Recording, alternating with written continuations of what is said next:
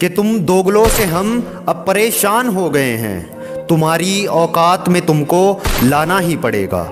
कि तुम दोगलों से हम अब परेशान हो गए हैं, तुम्हारी औकात में तुमको लाना ही पड़ेगा और सिर्फ़ वक्त आने दो, सब्र करो सालो। मैं कौन सी दहशत हूँ, तुम्हें डराकर बताना ही पड़ेगा।